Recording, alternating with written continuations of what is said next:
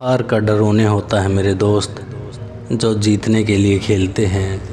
हमें तो बस लड़ने का शौक़ है, जीत गए तो समझो अच्छा लड़े, और अगर हार गए तो मतलब आगे और बेहतर लड़ना होगा। बड़ा गुरूर था उसे अपने चाहने वालों पर। बड़ा गुरूर था उसे अपने चाहने वालों पर।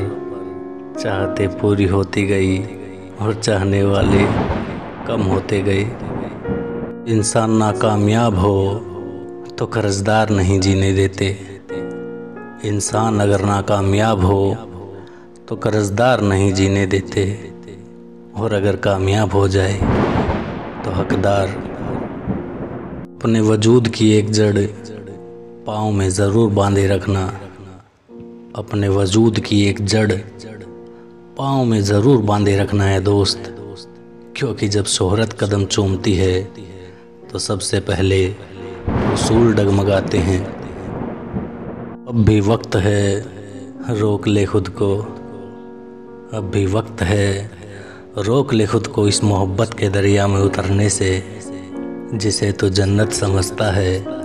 उसने ना जाने कितनों की ज़िंदगी जहन्नुम में तब्दील की है। मेरी इतनी भी फ़िक्र ना कर ऐसा कि मेरी इतनी भी फ़िक्र ना कर ऐसा कि थोड़ा लड़खड़ा कर घर तक पहुँच ही जाऊँगा। नशा मोहब्बत का उतरने में थोड़ा वक्त तो लगता ही है।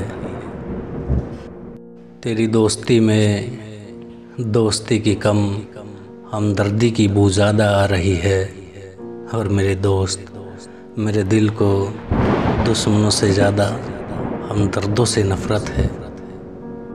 उन्हें लगा होगा कि दिल सच में पत्थर से तोड़े जाते हैं। उन्हें लगा होगा कि दिल सच में पत्थर से तोड़े जाते हैं।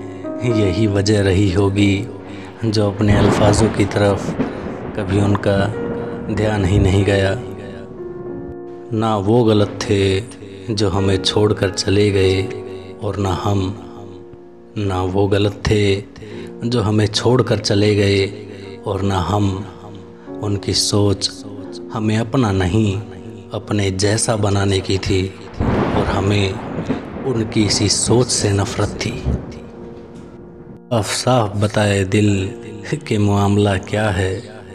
साफ़ साफ़ बताए दिल के मामला क्या है? यूँ ही अचानक तो मोहब्बत हो नहीं सकती। एक धड़कन भी तेरी मर्ज़ी के बिना दिल से गुज़रती नहीं।